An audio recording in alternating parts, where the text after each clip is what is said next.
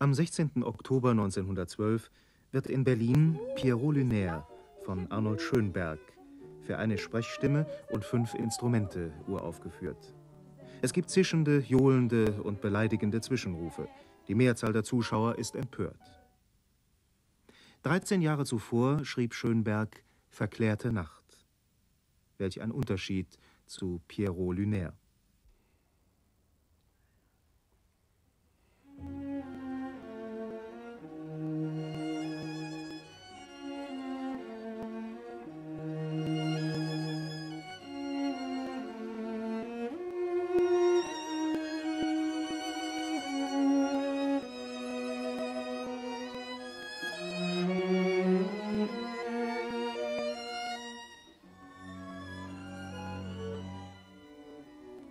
Komponisten, die heute als Klassiker der Moderne längst anerkannt sind, wurden zunächst angefeindet.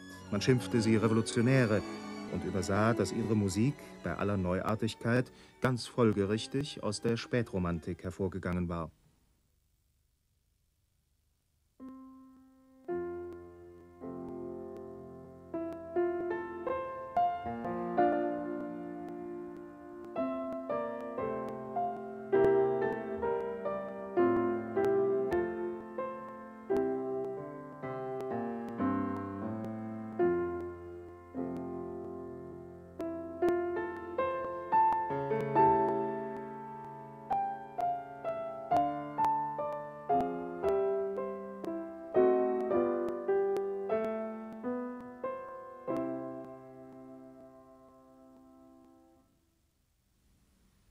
Wenn man diese Musik nur in Akkorden spielt, hört man den Bezug zum Grundton ganz deutlich.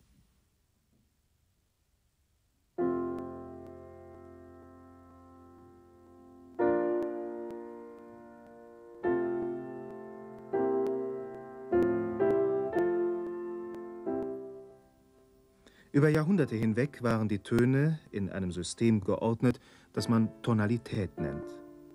In diesem System beziehen sich alle Töne auf einen Grundton, beziehen sich alle Klänge auf einen Grundklang. Aber schon bei Richard Wagner wurde der harmonische Aufbau der Melodien und Klänge so weit gespannt, dass man die Beziehung zur Grundtonart oft kaum mehr wahrnehmen konnte.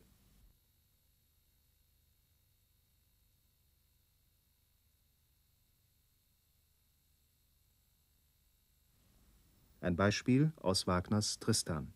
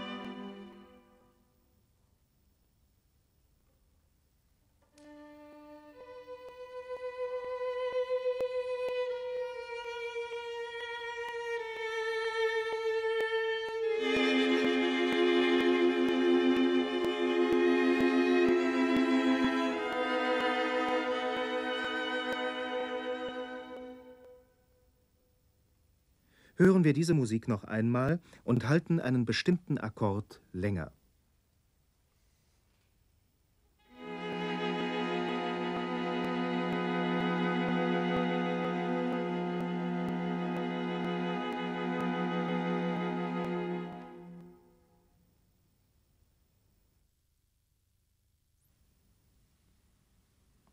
Hört man diesen Akkord lange genug, vergisst man, dass er nach Auflösung strebt. Er erhält einen Eigenwert.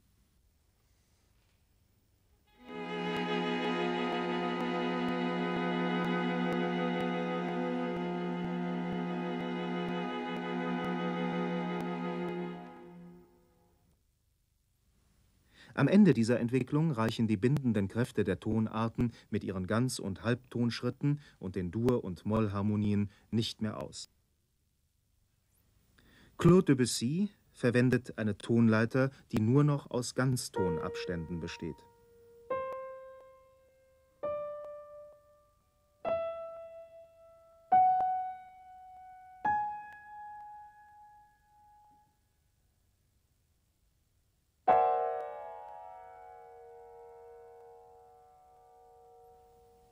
Nur zwei solcher Ganztonskalen bestimmen das ganze Klavierstück Voile von Debussy.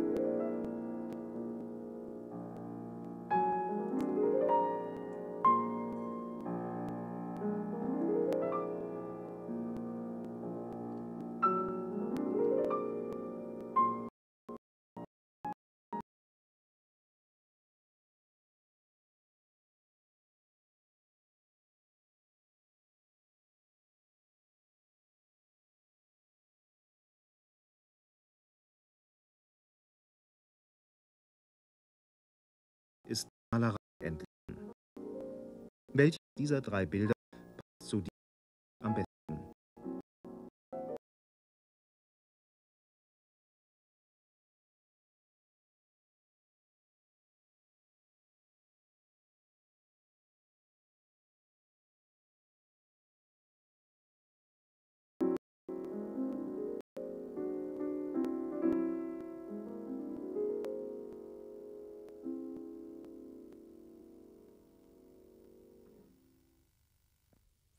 Diesem Bild gab der Maler Claude Monet den Titel Impression.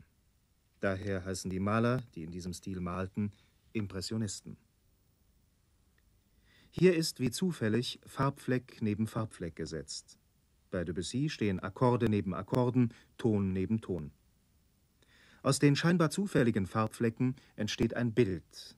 Aus den scheinbar beziehungslos nebeneinander stehenden Tönen wird Musik. Es sind Momentaufnahmen, wie hier das erstarrte Flimmern des Lichts.